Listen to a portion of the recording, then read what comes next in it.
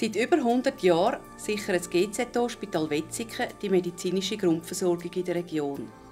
Mit unserem Neubau und modernster Technik können sie auch in Zukunft bestens versorgen. Vor allem, wenn es schnell muss gehen.